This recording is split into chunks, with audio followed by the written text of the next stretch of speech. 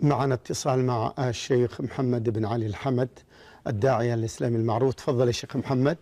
السلام عليكم ورحمة الله وبركاته. والسلام ورحمة الله وبركاته. مسيك الله بالخير شيخنا. جزاك الله بالخير. شكر الله لكم ونفع الله جل وعلا بكم. بارك الله أقول الشيخ حفظك الله. ابتلينا الحقيقة في هذا الزمن آه، في هذه الفتن الحقيقة بسبب ابتعاد الناس أو فئام من الناس عن كتاب الله. وسنة رسوله صلى الله عليه وسلم في التشتت الاجتماعي. هذا يظهر في بعض المجتمعات ما بين الحقيقة شيخنا الكريم آه، آه، تخلي الآباء عن المسؤوليات وما بين عقوق الأبناء فنجد الحقيقة أن الآباء أو أن بعضا من الآباء قد تخلوا عن مسؤولياتهم الشرعية التي أوكلهم الله جل وعلا بها في الحفاظ على الأولاد ورعايتهم وصيانتهم مما يدنسهم. سواء بالأخلاق أو الأفكار أيا كانت توجهاتها. وفي المقابل أحسن الله إليك نرى أيضا فئام من الأبناء الحقيقة وصلوا إلى درجة من العقوق لم تعرف في فيما سبق. عقوق للآباء وعقوق للأمهات. نعم. فنأمل من أحدكم جزاك الله خير التوجيه حول هذا الموضوع لأنني الحقيقة أرى أنه من الأمور التي ينبغي على يعني العلماء والدعاة وطلبة العلم والخطبة الصالحة أن ينبهوا إليها. طيب. لا سيما أن مسألة الحقيقة الحفاظ على الأسرة مما جاءت بها الشريعة الإسلامية. جزاك الله خير الله جل وعلا لكم التوفيق والسداد شيخنا ويثيبكم على ما تقدمون. شكرا. نعم. السلام عليكم ورحمة الله وبركاته. عليكم السلام. بارك الله فيك. نعم ال- الأمور مربوطة بأسبابها. الصلاح له أسباب والفساد له أسباب.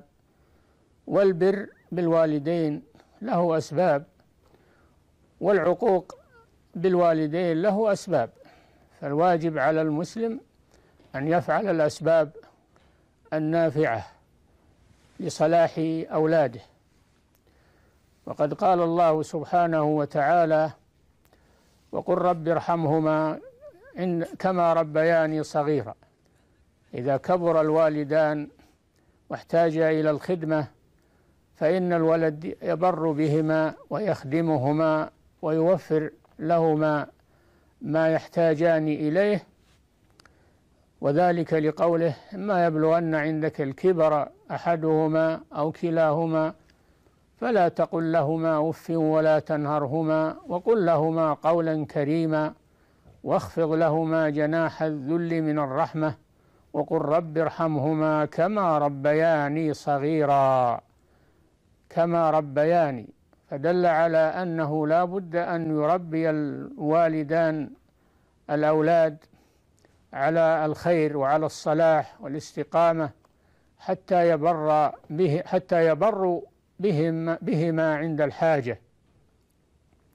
والنبي صلى الله عليه وسلم أوصى الآباء بالأبناء من الصغر فقال صلى الله عليه وسلم مروا أولادكم بالصلاة لسبع واضربوهم عليها لعشر وفرقوا بينهم في المضاجع. ومعلوم أن التربية على الصلاة أنها سبب للصلاح لأن الصلاة تنهى عن الفحشاء والمنكر كما قال الله سبحانه وتعالى وأقم الصلاة إن الصلاة تنهى عن الفحشاء والمنكر ولذكر الله أكبر والله يعلم ما تصنعون. ف ومن لازم الصلاة أن يعلمهم الوضوء والطهارة وستر العورة وشروط الصلاة المطلوبة فهذه تربية من الصغر فهو يؤمر بها في سن التمييز مجرد أمر وإذا بلغ العشر فإنه مع الأمر إذا تكاسل فإنه يضربه. واضربوهم عليها لعشر. وأيضا يراقب الأولاد في مضاجعهم. فيفرق بينهم في المضاجع كما أمر النبي صلى الله عليه وسلم لأن ذلك إبعاد لهم عن فساد الأخلاق. فهذا دليل على العناية بالأولاد. وبالتالي هو دليل على تربية الأولاد على عدم الاختلاط بين الرجال والنساء مما يثير الفتنة ويثير الشهوة فهذه تربية عظيمة ينشأ عليها الأولاد. فهذه وهذه أسباب لصلاح الأولاد.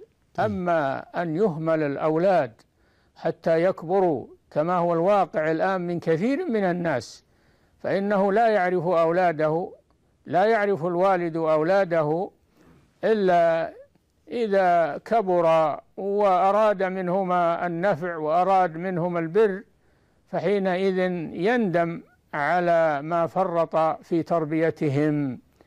حين لا ينفع التفريط ولو أراد أن يربيهم بعد ما يكبروا لم يستطع. إن الغصون إذا عدلتها اعتدلت ولا تلين إذا كانت من الخشب. فات الأوان فلا بد أن يبكر الوالد مع أولاده بالتربية الحسنة على العبادة على الأخلاق ويعلمهم عقيدة التوحيد وإفراد الله جل وعلا بالعبادة. فهو وهذا لا شك أن هذا يتعبه ويشق عليه لكن لا بد من الصبر على هذا لا بد من الصبر على هذا. ولهذا استحق الوالد من البر والإحسان ما ما يعجز الولد عن عنه وإنما يؤدي بعضا مما يستطيع منه.